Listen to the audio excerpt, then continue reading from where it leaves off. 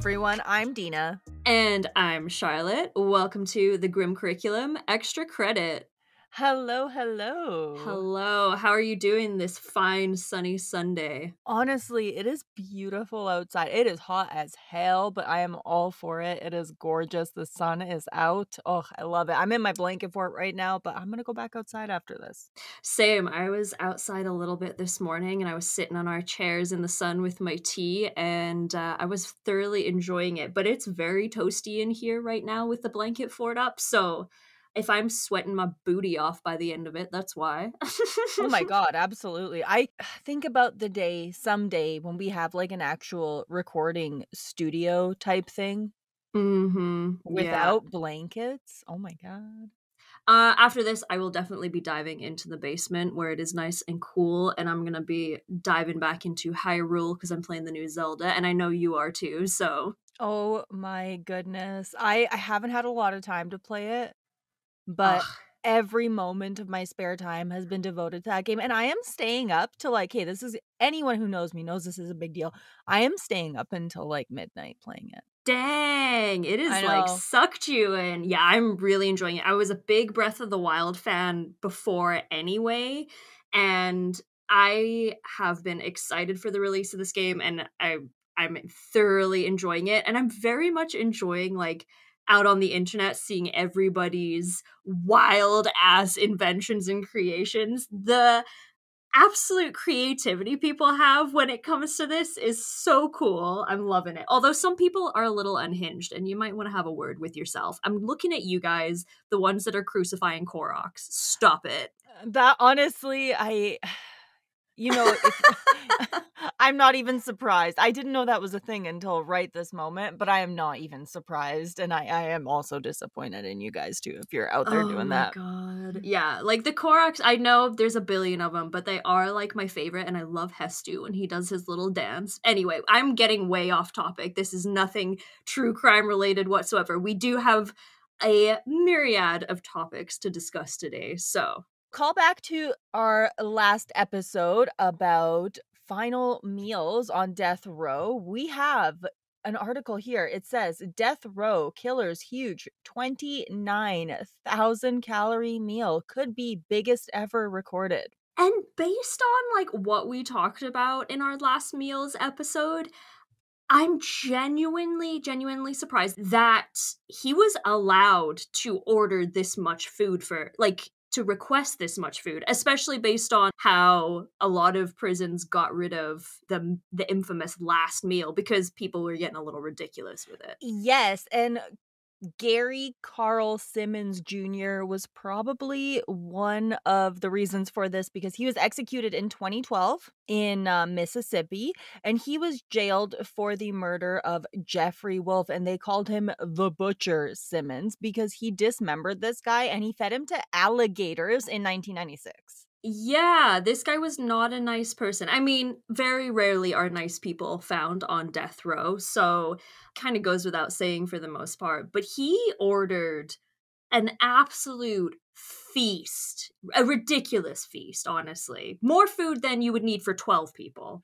Reading the list made me hungry, though. Do you want to get into it? Yes, yes, let's list it off. All right, so one Pizza Hut medium super supreme deep dish pizza double portion with mushrooms, onions, jalapeno peppers, and pepperoni. Pizza, regular portion with three cheeses, olives, bell pepper, tomato, garlic, and Italian sausage. And that was in addition to 10 8 ounce packs of Parmesan cheese, 10 8 ounce packs of ranch dressing, one family size pack of Doritos nacho cheese flavor, eight ounces of jalapenos nacho cheese, and four ounces of sliced jalapeno Oh my god. Jalapenos. I like that. That's that's fun. I don't know why I'm struggling with this so much. I, you know what? To be fair, it's literally and figuratively a mouthful. it really is. And four ounces of sliced jalapenos. And to wash it all down, he had two large strawberry shakes and two 20 ounce cherry cokes. And uh, this is along with a supersized order of McDonald's fries with extra ketchup and mayonnaise with two pints of strawberry ice cream. This seems just like he's like, this is my last day on the planet.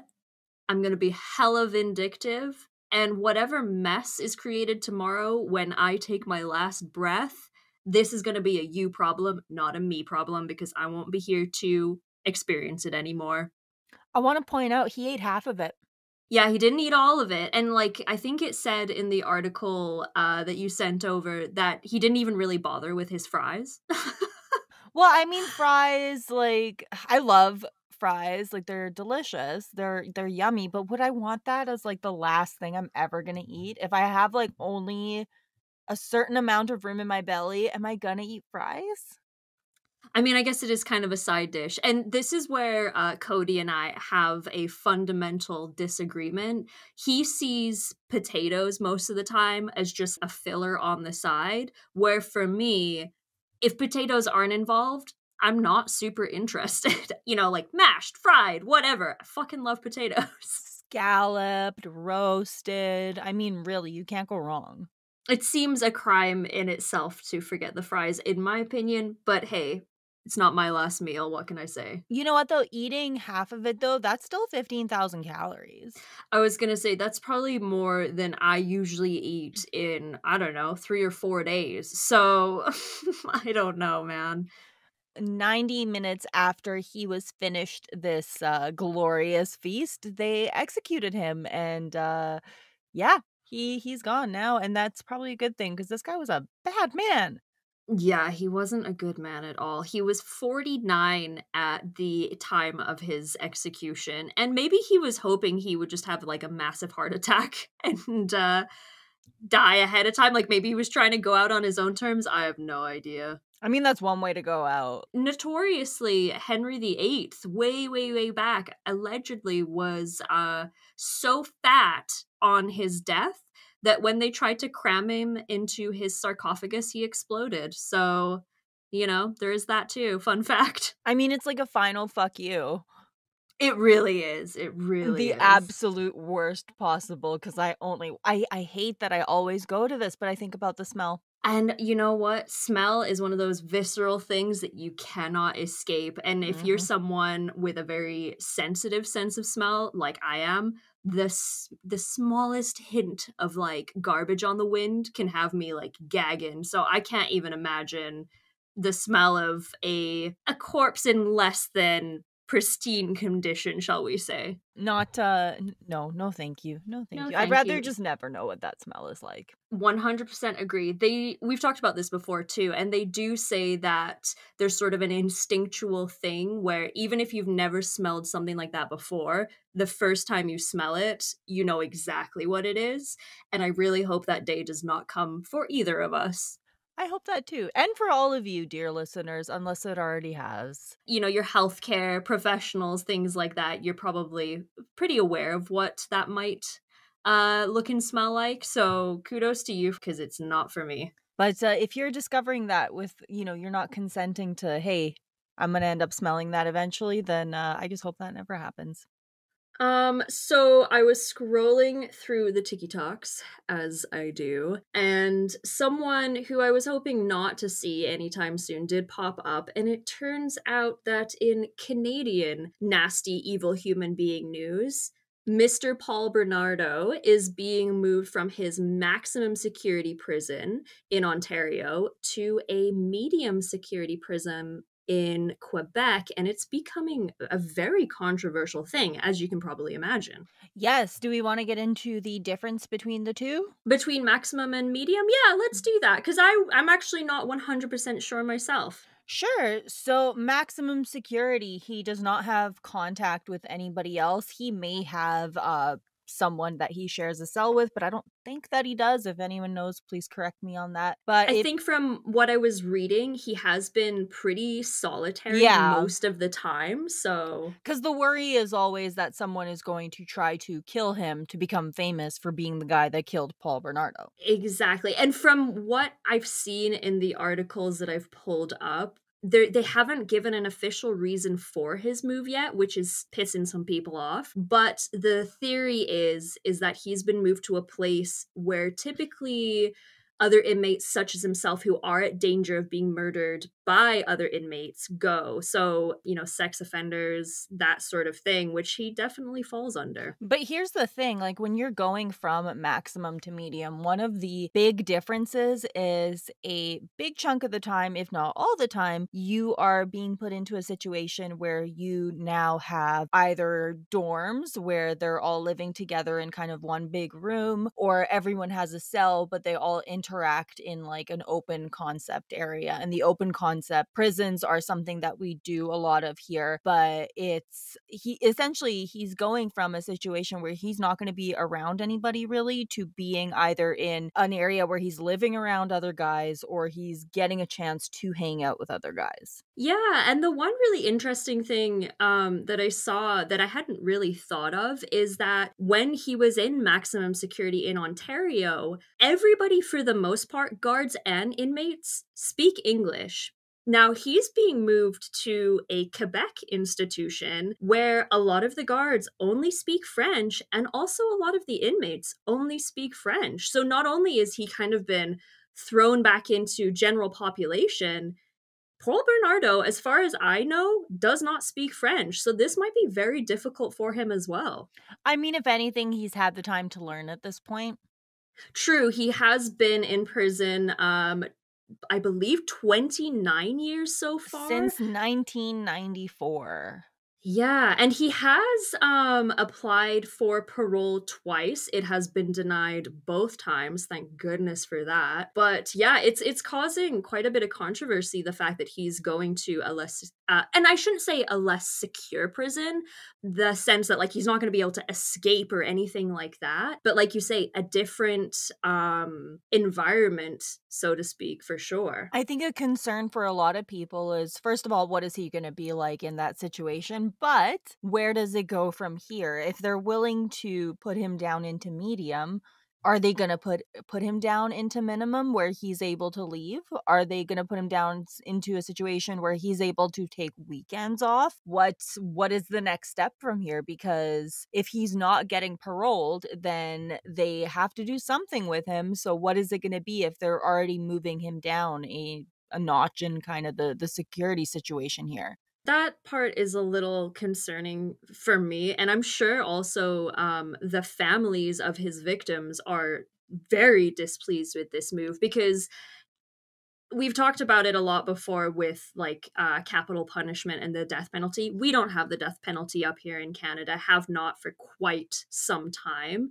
But to me Paul Bernardo fills the criteria of why the death penalty should be in use at some points, in my opinion, because he is an evil piece of shit. And I have no doubt in my mind that if he was to go free today, there would be reoffending within a very short period of time. I would bet money on that. Like, I do not think he is someone that needs to be out in society. I think you have spoiled that for yourself in a disgusting way. You do not get to participate in society anymore. I could not agree more. And I think when I look at him and when I look at this case, he is pretty close to about I don't know, as close to Ted Bundy as we've gotten to in Canada here.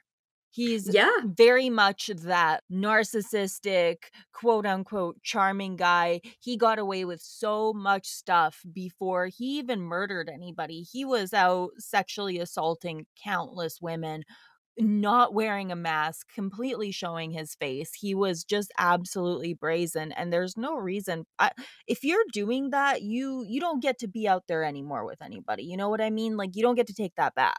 100% sir i get it. you've mm-hmm, hurt mm-hmm. a lot of people. You don't get to just be freewheeling all over the place. No and the other thing too is every single time he applies for parole the victims families have to go and they have to testify and they have to relive everything and that is so unfair. Like that just he doesn't care about anybody besides himself. I i would be shocked to think that he's thinking about anyone but paul bernardo at this point Oh, 100%. I, yeah, no doubt in my mind. that he would do awful things given the opportunity. And I think he faced a minor weapons charge in 2018 for somehow having a weapon with him in prison. So it's not like he has a completely clear record. It's not one of those where it's like, well, he's been in prison a long time now and he's really turned himself around. Mm, doubtful. But at the same time, and I, we're going to cover these two at some point it's just such a terrible, terrible, awful case. Uh, but they're on the list. Mm-hmm. Honestly, I think about everything he is trying to pull off right now, but Karla Homolka very true. Yeah. She's out there trying to, you know, volunteer with children and do this and that. And she's out there having a normal life while he's still doing all of this. And I personally think she belongs in there with him. But that is a whole other point that I could get into for a very, very long time that I'm just not going to uh, put you through right now. yes, that this is going to require an entire probably series to get through. Um which we will get into at some point for sure. I, I could rant about these two forever because it's one of those things where if you are Canadian, you don't necessarily have to be super aware of true crime or or anything like that. You probably know about this case because it's just it's so awful and it's something that I mean, they're they're some of the worst that we've seen in Canada. They're absolutely horrific human beings. because people sort of have this stereotype of, you know, Canadians being so polite and kind and all this stuff, when there is an internationally known true crime case like Paul Bernardo and Karla Homolka, or say Mr. Willie Pickton there, mm-hmm. it's like the reason they're internationally known is because they did bad things in a huge way. You know, Whereas I find with the states, and of course the population is just so much bigger. So statistically speaking, there are going to be more, more of everything, more of the good things, but also more of the bad things. And um, speaking of uh, Mr. Willie Pickton, I have run into a few podcast listeners out there in the wild, and um, they have asked, "When are we going to cover him?" Oh, he is also on the list, uh, and he's an interesting one. We'll call him interesting sure. for now, but that's going to be a, a, long series as well. If you aren't familiar with the case of Mr. Robert Willie Pickton, go look him up because he's going to change your sp- perspective on Canadians, I think, a little bit too. We'll um, get there at some point. That's one of those cases where in Alberta, there's a lot of folks here that are somehow connected to what he did and that's that's one of those cases that is actually quite close to home and uh, it is horrible so it's on the list i don't know when soon maybe? Yeah even i have friends who work for say like the rcmp and stuff like that and some of those officers that have been in on the force for a long time they were called out to help with that case too because when they combed that property it was absolute insanity, but I digress.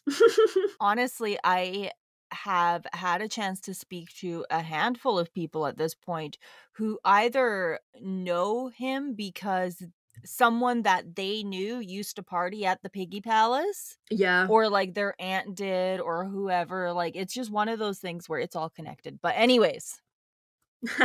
Anyways. In yeah um sort of on a similar uh, train, but not quite. Another article did pop up that caught our attention. Do you want to kick this one off? Sure. So it's looking like Miss Leslie Van Houten, who is uh, one of the former Charles Manson followers, she might be freed. And it's actually looking like it's going to happen this time. She's actually been recommended for parole five times since 2016, but she was getting denied over and over again. But it's looking like this is going to be overruled. Because in the past, it um, seems like the governor, who would have been Mr. Gavin Newsom at the time, and his predecessor, the governor before him, even though the parole has come to them, they as governor have denied the parole each time that she has asked for it. But it looks like because the laws are changing, the District Court of Appeal can actually overrule the governor's denial of parole. So there is a chance that Leslie Van Houten could be out as soon as like this week, even. So she has not done a ton wrong since she was incarcerated. I do want to say during the murders, she put a pillowcase over Rosemary LaBianca's head while Tex Watson stabbed Leno LaBianca. Then Rosemary was stabbed by two of the other followers. We're going to get into all of this in a Charles Manson series that I would love to do as soon as possible. We- I mean, if you have an interest in in in cults at all, you know who the Manson family is. Exactly. And I don't want to get into the case a ton here because, again, it's something we're going to work on in the future. But at the end of the day, I don't know. Like, this is something where, so she was again, she was directly involved in all of this. She got in trouble a little while ago. It was quite a few years ago for trying to communicate with women. It was 1981. She was verbally communicating with women. She got a write up for doing that. But uh, she hasn't gotten in trouble since 1981 again. So she was one of those people who she was kind of a, you know, good girl before all of this happened. And she and got. Yeah, she was 19 at the yeah. time, right? So, like, in my eyes, and, and this is by no means um am I defending her at all, but she was 19. She had been sucked into a cult. She was on drugs. And, you know, that's going to do stuff to a person's brain, I will say. Does that uh, forgive any of it? Absolutely not. She was part of the some of the most horrific attacks ever, but she has been in prison for 50 years. I mean, at the end of the day, they've released people who have done arguably far worse crimes, people who have been involved in far less infamous crimes, if anything. And I think I don't know. It's it's so hard to say because this is one of those people where they originally wanted to execute all of them. Oh yes, yeah, and they then, were all originally sentenced to death, I believe. Yes, so and I mean, uh, they. I think sometimes when they say, okay, you know what, we're not going to put you to death, you're going to spend however long in prison, do they think about 50 years from then?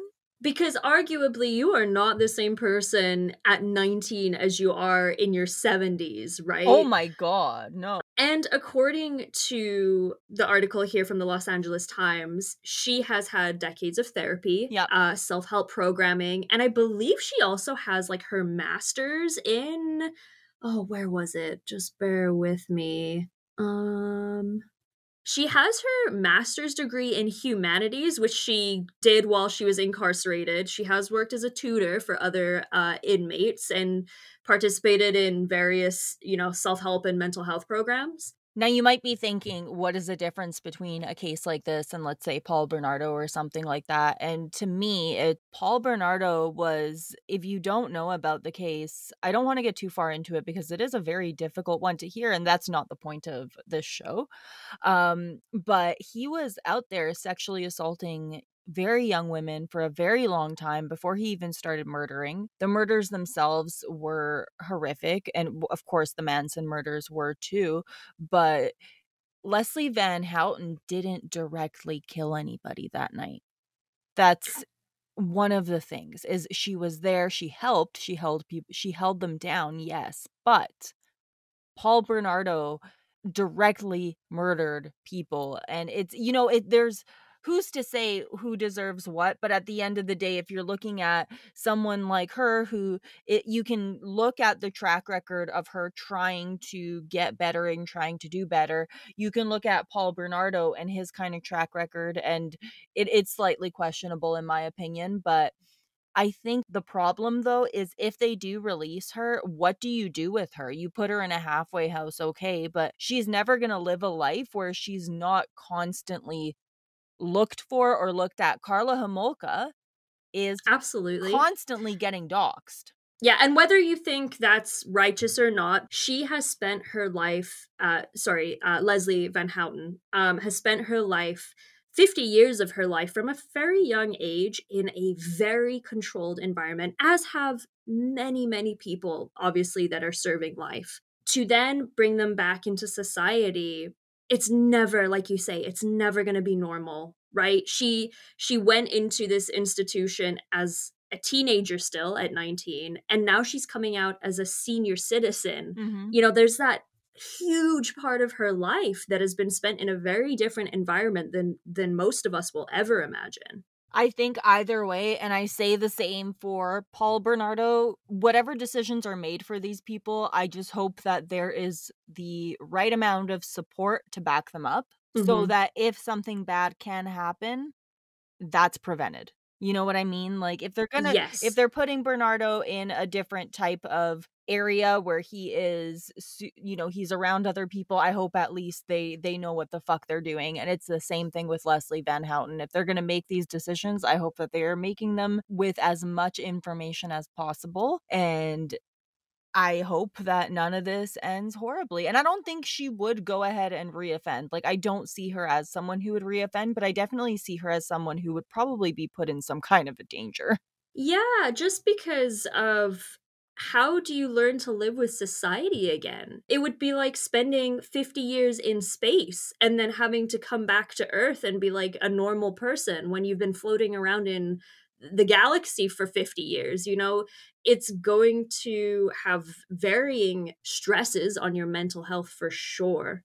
The thing is we're going to have to start getting used to this cuz we have all of these cases that are famous from you know the the 60s to the 80s even some in the 90s like Bernardo where the time is coming that parole dates are approaching. Yeah, and I mean 25 years seems like a very long time when it happens, but I mean I still think that 10 years ago was 1990 and obviously that's not the case. So time really flies in that sense. It does. We're still waiting to hear about what is going to happen with Luis Garavito this year. Mm-hmm. You know mm-hmm. what I mean? So we have more and more people that are coming up to parole dates or release dates, and we'll keep you guys posted with all of them. But you know, Mark Twitchell the uh, fella that we covered in our very first episode, he's going to be up for release in uh, what 2035, I think it was. It, it sounds like a long way away, but it's it's not that long because I always think like,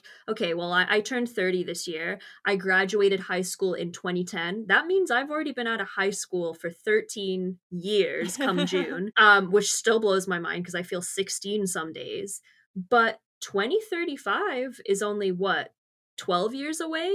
I think that could be here before we know it and i don't think he's a person that we need to see back on the streets either. No and i honestly i want to see what the hell's gonna happen there because i mean with with both of those fellas i mean luis garavito that's like right around the corner is what they're at least saying so yes. what's gonna happen? Yeah and he is uh he's a nasty one. I mean they all are. It's it, you know it's the topic that we've chosen to talk about but for people and again i don't have any previous law knowledge or anything. You far surpass me in that particular area because you have education in that sense with when it comes to you know crime and law and things like excuse me things like that.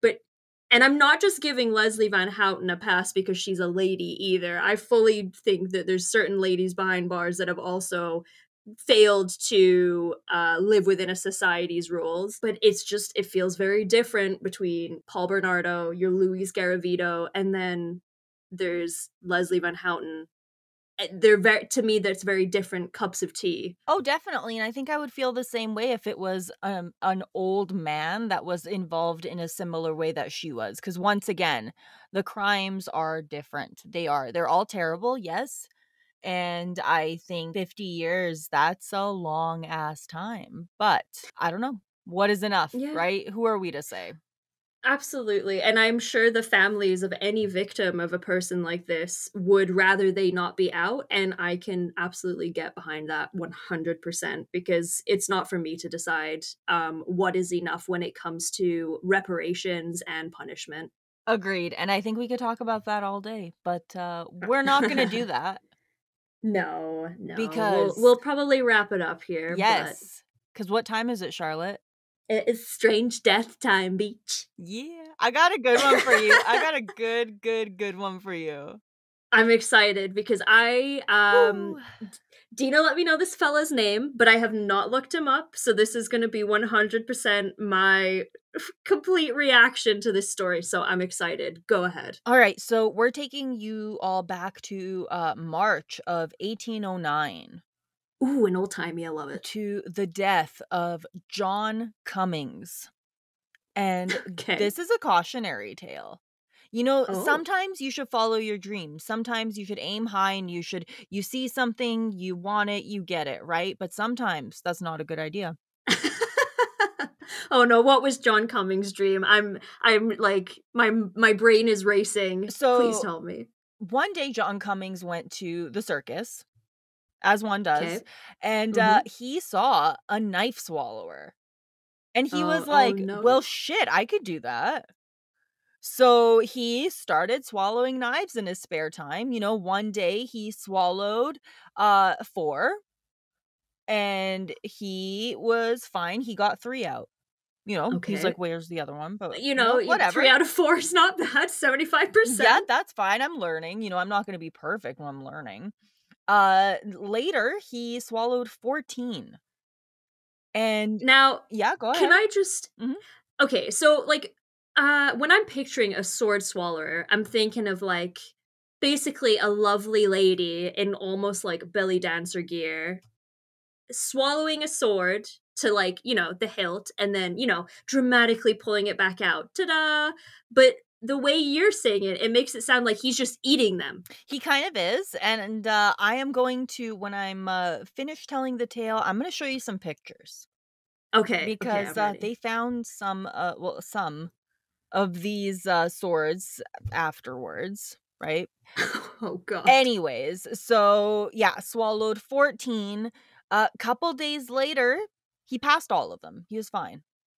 You know, all good. It took a few days. He was okay.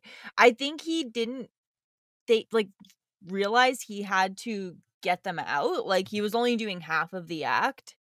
You know what I mean? Oh, like he was like yeah. ingesting them.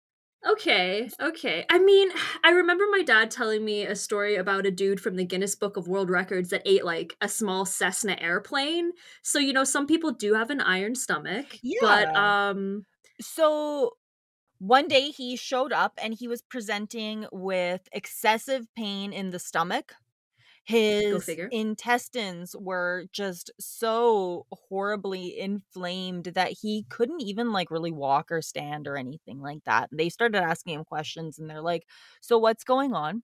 Um and he said that uh the la- the day before he swallowed about 19 maybe 20 clasp knives and a case he he swallowed the case. He he threw the case back up, but the uh, the knife uh, stayed behind. And all of this entire story takes us to the National Library of Medicine and the National Center of Biotechnology Information. They have all of this written here in a research article called A Seaman's Wager. Okay. So essentially, he showed up and he said that after he started watching this circus performer, he wanted to start and he was telling people kind of over a few beers what he had done. This was before he ended up at the hospital. And he started bragging that he could do it. And everyone around him was like, "No, you can't." And he was like, "Yeah, I can." That is how all of this started. Every single time that he did it, he basically was telling the story of how he had done it the time before and oh, people oh didn't believe him. And every single time he swallowed more and more and more knives. Eventually, they uh, decided to treat him for all of this. He was given castor oil and enemas of what they call a thick water gruel okay. and some opium for the pain. I should hope so. Yeah, and uh nothing helped. So they started giving him it says 30 to 40 drops of sulfuric acid in an attempt to dissolve the blades that had remained in his body. Man, if you've ever passed like a kidney stone or like a bladder stone, you know that that is probably one of the most uncomfortable things that you can ever experience. And some people, it's like cripplingly painful. Now, imagine that it's not just a tiny, minuscule kidney stone, but a knife. Yes. And, and not just one. pride and ego and a dream man will they they'll get you into some situations oh they will because he wasn't done there he vomited um, some more of it up eventually he wasn't able to eat that's kind of how all of this ended he he had gone to the hospital a few times they kind of gave him more acid and more opium and this and that but eventually he died and uh, i'm going to send you this article now to look at. There is a photo here of fragments of knives that were found in his stomach, and it's a lot of like knife handles, and uh, he was eating them. I guess he just wanted to. This is the problem. He had a dream and he didn't know enough about it to do it properly, and instead he just ate a lot of knives. Oh man. I bet you he wished that he would have just like gone for some kind of apprenticeship or something, but instead he's like, nah, how hard could it be? I got this. And, you know, to be fair, he sure did, but uh, there was definitely a part of the act, like you say, that he missed out on completely, and that is uh, safety. I think maybe he saw the act and he got so excited that halfway through he ran off to go look for knives because he was like, "I can do this." And then as soon as he left, they started like bringing them back up, so he like missed that part, and then that was what happened we've all done things to impress someone stupid things mm-hmm. i should mm-hmm. say you know, big or small. We won't get into it too much. I'm sure we all have stories. I feel like it was less to impress the people around him and just for really the kicks that he got out of it until the wager was made, of course. But he was like, sure, I do this all the time. Of course I can do this. I'm willing to bet that a lot of alcohol was involved in this, and uh, that just wasn't the best thing to throw into the mix. How sharp were these knives? Because presumably true sort of performing sword eaters I can't imagine that the knife is actually, you know, razor sharp, you know, to a honed point. Well, it says here that a knife blade and a knife back spring were found in his intestines. The spring corroded through into the peritoneum. It transfixed the colon near the left kidney, but uh, it didn't cause any issues. Another blade was wedged across the rectum uh, its oh, end oh, no. was embedded in the pelvic wall and they extracted it says 30 to 40 fragments of wood metal and horn once they opened up his belly. When i tell you my mouth is wide open right now i'm just like how are you even walking sir? i thought you were saying because... your mouth was watering no absolutely not no i have never had a desire to swallow a knife it sounds to me like he was just eating like you know, like a switchblade knife in, if that makes sense. Because you said there is a spring. Yep. I think, you know what? Sometimes we can just say straight up Darwinism. Very true. Very true. Survival of the fittest at its best. So, um, John Cummings, I, uh, you know, sometimes it happens. He was 29 when he died. That's that's really sad. That's I mean, in those days, not the youngest, but these days, that's still very young, right? And uh, you know what? Again, proof that uh, sometimes it pays to learn what you're doing before you do it. I support you having a dream, but maybe just like check in with someone that this dream isn't also mental illness. Yep. Thank you so much for listening to Extra Credit today, guys. Hope you enjoyed. And if there's any stories or articles or you know news things that you want us to take a look over and discuss by all means send them our way we love to hear what you guys are interested in hearing from us bonus points uh, if it's old timey and uh, you know sometimes we just can't do a full full series on it or a full episode about it so if you have something that you want us to talk about like don't be shy because we love hearing from you guys uh, anything else that we need to talk about today? No. Thank you all so much for listening. This has been the Grim Curriculum Extra, Extra credit. credit.